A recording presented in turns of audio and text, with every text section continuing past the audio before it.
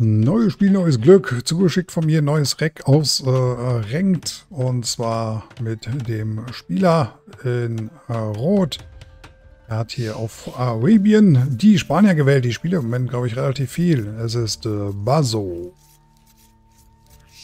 Und äh, sein Gegner in Blau mit den Italienern. Es ist Tric. Baso gegen Tric. Tri-CH. Ist es Tric oder ist es Tri-CH für, für Schweiz? Wahrscheinlich Tri-CH. Jedenfalls ist das äh, ein Game, wie man sieht, bei knapp 1200 Elo. Beide also kurz vor 1200 Elo-Grenze. Baso mit den Spaniern, Tric mit den Italienern. Das könnte ein interessantes Matchup werden. Spanier mit den Kongs und die Italiener. Da müsste ich gerade tatsächlich mal überlegen, ähm, die genuesischen Crossbows.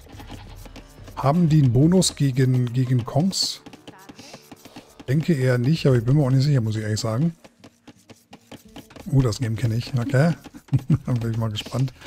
Ähm, wenn das ein Game von gestern ist, dann habe ich das wahrscheinlich ganz kurz mal reingeschaut. Aber ich weiß nicht mehr genau wann. Ist auch nicht so wichtig.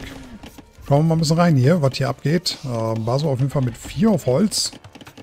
Hier auf Holz. Das ist sehr interessant. Das sieht man eigentlich fast gar nicht mehr. Außer eventuell bei Fast Castles. Aber vielleicht kenne ich mich bei den Spaniern nicht so ganz aus. Aber auch der Italiener hier mit 4 auf Holz. Also, hm, sehr, sehr merkwürdig. Also früher gab es natürlich immer die Archer Build Orders mit 4 auf Holz, aber das macht heutzutage auch kaum jemand mehr, weil das so spät ist. Weil so spät oben ist dann. Wird auf jeden Fall schon mal dir gepusht, es werden weitere Nashörner gepult. Also viel Nahrung hier unterm TC bei, bei Treach. Vielleicht ein bisschen zu viel gerade sogar. Und äh, bei Basso wird jetzt ebenfalls noch das zweite Nashorn gepult. Wir haben keinen Deer-Push bei ihm. Schauen wir mal kurz darauf, äh, was hier gescoutet wird. Schon relativ nah dran an der Base. Und sein Gegner, der ist weiter am Deer-Pushen, deswegen kein offensives Scouting hier. So, da haben wir jetzt erstmal Basso, sieht jetzt schon mal. Greift erstmal das Haus an.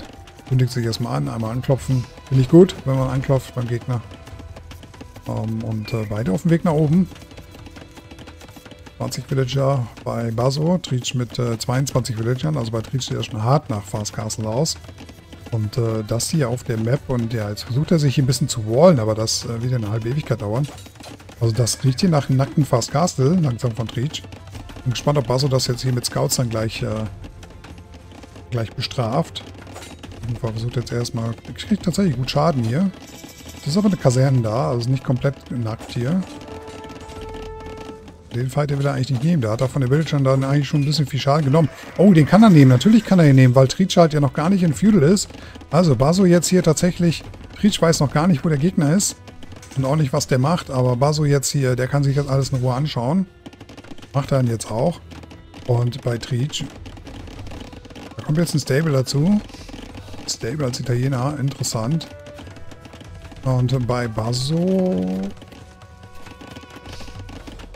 Schielt da etwa einer Richtung Castle Age? Okay. Also noch gar nichts hier. Kommt jetzt die Schmiede mit dazu. Ja, was hat er gesehen? Er hat halt immer noch nicht alles gut gescoutet. Ne? Er weiß immer noch nicht, ob da irgendein Tag ist. Wir, wir wissen, dass hier keiner ist, aber normal Jetzt sieht er doch, da ist ja ein Deck, ne? Der Stall auf jeden Fall da. Und da kommt auch schon der erste Scout. Der will ihn jetzt hier, kann ihn easy rausnehmen. Aber immerhin hat Bass gesehen, dass der Stall da ist. Ähm, reagiert auch drauf. Nimmt erstmal zwei Spears raus. Reach bei drei Scouts, auch mit Spears mit dabei. Da ist der erste... Oh, der kriegt schon mal richtig fetten Hit ab hier. Das ist schon mal gut. Baso ist nicht mehr weit weg von äh, Castle Age. Spiel jetzt mit dabei. Schauen, wo hat er die hin positioniert. Oh, geht, geht nicht, geht zu schnell. Okay, Woodline ist noch offen. Da kommen jetzt zwei Scouts. Hat er vielleicht noch nicht gesehen. Okay, aber da ist ein Spear in Position. Big Walls am Stone. Nice. Wird direkt wieder aufgemacht. Hat noch Villager einquartiert und ist jetzt auf dem Weg Richtung Ritterzeit. Keine zwei Minuten mehr. Äh, und Reach ist davon noch ein Stückchen weg. Also erstmal reine Defense hier von, äh, von Baso. Er hat hier noch, natürlich noch keinen Villager verloren. Alles gut bei ihm. Oh, jetzt gibt es hier nochmal ein paar Fights mit dem Villager an. Der will hier unbedingt auf Castle gehen. Also da werden wir gleich Kongs sehen. Da gehe ich fest von aus. Schauen wir eben kurz bei Treach hinten nach. Schmiede ist da. Der geht jetzt hier ebenfalls auf Stone. Also beide gleich mit einer Burg. Treach jetzt auf dem Weg Richtung Ritterzeit. Oh, die Spears sind hier ein bisschen weit out of position. Bisschen weit weg von der Base. Jetzt kommt Stall danach. Bei Buzz. Und bei Treach, ja. Da kommt Befiederung rein. Und tatsächlich Steinabbau-Upgrade noch rein. Also der will hier mit aller Macht die Castle placen. Da sehen wir dann vielleicht ein paar genuesische Crossbows. Castle bei Baso. Vorne Richtung Gold. Schützt Gold, schützt, äh, schützt Wood. Spears sind mit dabei. Das sollte locker hochgehen hier. Da kommen auch schon die Upgrade rein. Pferdehalterung. Okay, ja, alle Upgrades kommen rein. Für die Kongs. Die defensiven Arch-Upgrades braucht er ja. Er braucht die äh, auch, auch Blood, Bloodlines. Husbandry ist noch ganz nett. Gerade weil man ja ein bisschen kiten möchte. So, Burg ist da. Vier Kongs sofort angedrückt. Eco läuft bei ihm. Und auf der anderen Seite so, Eco-Upgrades, da könnte jetzt natürlich noch mehr gehen. Er müsste erstmal, er hat aber gerade 0 auf Holz. Okay, wir bauen gerade alle hier beim, beim Dinges neu, kann man machen. Ja, ein paar mehr Eco-Upgrades wären natürlich cool. Aber da ist auch schon zumindest das Farm-Upgrade drin. Das Holz-Upgrade äh, wäre natürlich auch wichtig. Bei Street sieht das auch, auch gut aus. Der holt sich hier auch die ganzen Upgrades und jetzt kommt auch da die Castle. Die Kongs sind unterwegs. Die erste Kill, äh, ersten Kills wurden schon gemacht. Jetzt kommt es natürlich auch ein bisschen auf Micro drauf an. Zwei Ritter haben wir draußen. Und die drei Kongs. Ah, die kriegen jetzt ein bisschen Schaden hier von der Burg. Aber wir sehen schon, die Upgrades sind schon ganz gut drin. Oh, jetzt kann er hier tatsächlich das Gold einfach campen. Weitere Kongs. Das schickt tatsächlich hier jetzt unterschiedliche Armeen nach vorne. Und hinten wallt er sich komplett. Fette Wall hier bei ihm. So, jetzt kommt es an. Wie viel Schaden kann er machen? Baso ist weiterhin auf einem TC. Drei Villager ist er quasi hinten. Das heißt, er braucht auch so ein paar Kills. Oh, jetzt kommen die Ritter ran. Muss er jetzt gut kiten. Den ersten verliert er leider. Die Chinesische Crossbows kommen dazu. Oh, die machen massiv Schaden hier. Da sind die ersten drei äh, Kongs ganz schnell weg. Aber kann er hier jetzt wenigstens mal ein bisschen Schaden machen. Ist das alles neu eingestellt? Warum ist das? Das sieht alles anders aus jetzt hier. Getötet, gestorben, Wirtschaft. Okay. Gab es irgendwie Updates oder so? Er hat doch zwei Villager-Kills. Das ist jetzt ein bisschen wenig dafür, dass er jetzt auch die Kongs hier doch recht einfach verloren hat. Und weit auf einem TC sitzt. Er muss natürlich Schaden machen. Aber die chinesischen Crossbows, die scheinen ja auch richtig Damage zu machen gegen die Kongs. Vielleicht sehen wir das auch gleich mal ein bisschen genauer. Alter. Das haut halt rein, ne? Das haut halt rein. Das ist schon bitter. Da muss, da muss Baso natürlich hart aufpassen hier. Auf jeden Fall super gefährlich. Aber geht jetzt erstmal hier außen rum. Jawohl, jetzt kann er hier mal wieder einen Villager killen. Er muss halt immer relativ nah dran, weil die so ungenau sind. Aber auch hier weitere Kongs wieder an der Woodline. Da wird gerade nicht reagiert. Jetzt dann doch. Oh, die Genese oh, da sind die Kongs aber gleich sowas von weg. Alter Schwede. Oh, sterben die schnell hier gegen genuesische Crossbows. Also da muss man, das muss man tatsächlich, glaube ich, auf dem Schirm haben. Äh, hätte ich jetzt nicht so gedacht. War mir nicht so bewusst, dass die wirklich da anscheinend äh, auch so stark gegen sind. Aber ja, ist so. Deswegen für Treach dann auf jeden Fall die richtige Idee, halt äh, mit genuesischen Crossbows direkt auf Burg zu gehen und Crossbows zu gehen. Jetzt haben wir aber hier tatsächlich einen Push, der hier aufgezogen wird vom Baso mit Mangen. Aber von dieser Richtung aus wird er da nicht viel machen können.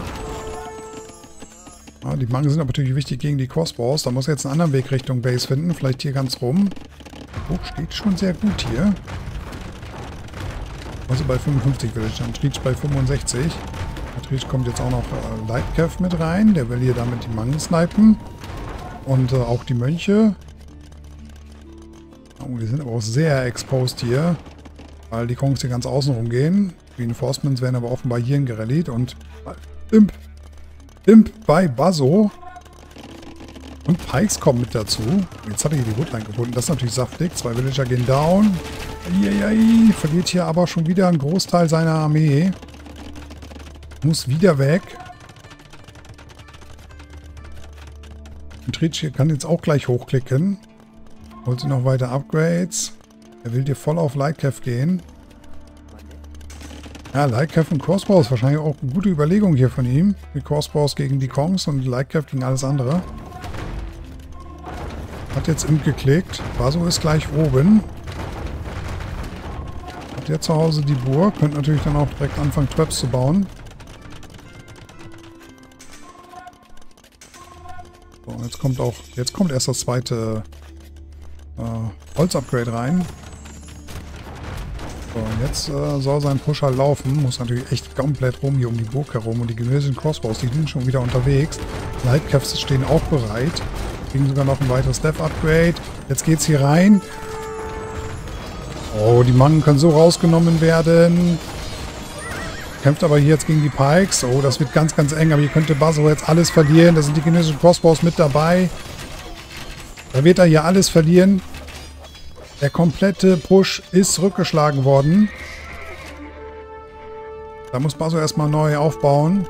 Hat äh, keine Traps unterwegs. Treach ist gleich Imp.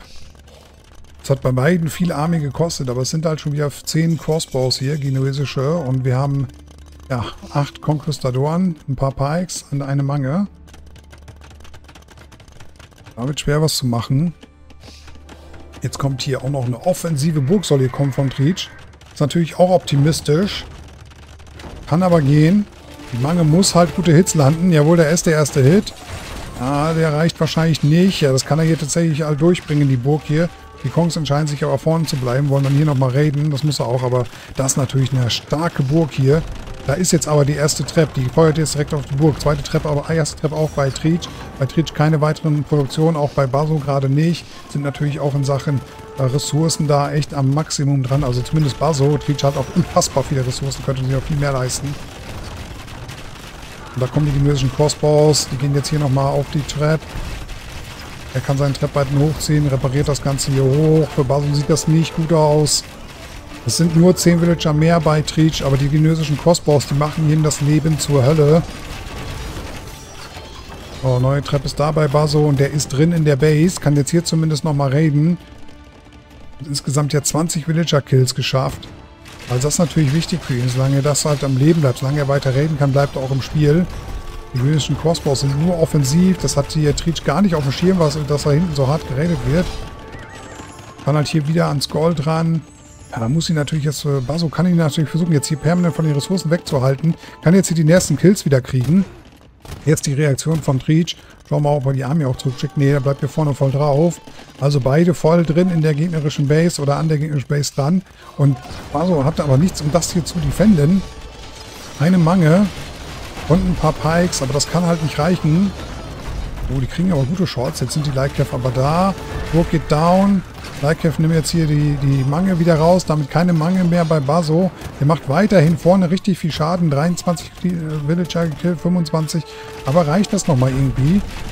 Reach 82 Villager. Er müsste selber auch seine Villager halt saven. Also beide sind am Villager killen, aber das sieht besser aus für Treach. Und jetzt kommen hier Lightcav mit nach hinten, die das jetzt hier regeln sollen. Das werden sie wahrscheinlich auch können. Also die sind zu sehr angeschlagen hier, die Kongs. Und da geht Baso raus. Ja, vorne kann er nicht mehr weiter Schaden machen und hinten findet er einfach keine Antwort hier. GG an Treach. Richtige Antwort gefunden mit den genuesischen Crossbows. Da willst du als Spanier dann offenbar nicht mehr auf Kongs bleiben, wusste ich auch nicht. Das nehme ich jetzt zumindest mal als Learning raus, weil ich fand das auch schon ein bisschen heftiger aus, wie viel Schaden die gemacht haben. Schweres Game, schweres Game auf jeden Fall. Äh, ohne eine Antwort auf die Crossbows wahrscheinlich einfach nicht machbar. Vielleicht wäre Plänkler besser gewesen statt Pikes. Aber so oder so, gutes Spiel. Von Trice auf jeden Fall. Auch gutes Spiel von Basso, aber schwierig. Schwierig mit Spanier gegen Italiener offenbar. GG.